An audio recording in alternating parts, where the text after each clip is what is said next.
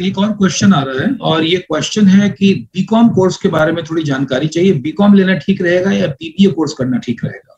Okay so I start with the BCom question only BCom एक traditional course के दायरे में आता है, लेकिन सिमेज में जो बीकॉम कोर्स कराया जा रहा है, वो ट्रेडिशनल नहीं है, वो प्रोफेशनल है। बीकॉम प्रोफेशनल कोर्स का नाम ही है और बीकॉम प्रोफेशनल जो सिमेज का कोर्स है, उसका सबसे बड़ा अट्रैक्शन है उसका सिलेबस बिल्कुल प्रैक्टिकल ओरिएंटेड है और आपको वहाँ पर जो सिलेबस को अगर आप कंपैरिजन करेंगे चार्टर्ड अकाउंटेंसी के सिलेबस से सीए के सिलेबस से तो आप पाएँगे काफ़ी कुछ मैच कर रहा है। तो सिमेज का जो बीकॉम है, वो सीए के सिलेबस से मैच करता है और आपको अकाउंटिंग टैक्सेशन बिज़नेस लॉ और ऑडिटिंग ये सारी चीज़ों का जो है और बैंकिंग एंड फाइनेंशियल सेक्टर इन सारी चीज़ों का बिल्कुल इन डेप्थ नॉलेज आपको बीकॉम प्रोफेशनल के कोर्स में सिविल में मिलेगा। और जो कुछ भी बीकॉम में पढ़ाई होती है, वो सारा का सारा पढ़ाई बीबीए में भी होता है।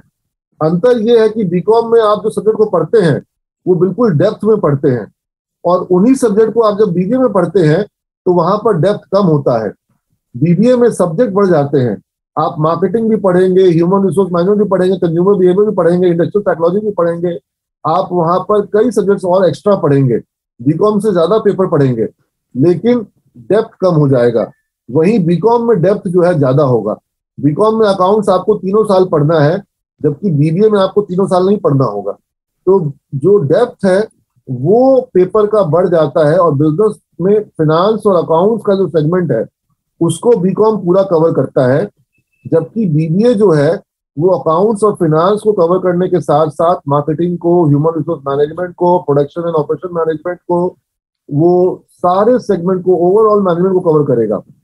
लेकिन डेप्थ कम रहेगा। अब जिसको बकायदा फिनांस और अकाउंट के सेक्टर में जाना है, उसके लिए तो बीकॉम ज़्यादा बेहतर कोर्स है। या जिसका बैकग्राउंड आईकॉम का है और वो आगे बीकॉम करना चाहता है तो उसके लिए बीकॉम बहुत अच्छा कोर्स है। जो सीए या सीएस करना चाहता है, उसके लिए बीकॉम बहुत अच्छा कोर्स है।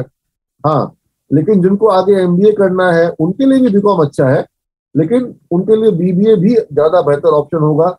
या जिनका अकाउंट्स फिनांस के साथ साथ और बाकी सब्जेक्ट्स में भी इंटरेस्ट हो मार्केटिंग में ह्यूमन रिसोर्स मैनेजमेंट में तो वो बीबीए के कोर्स में आ सकते हैं।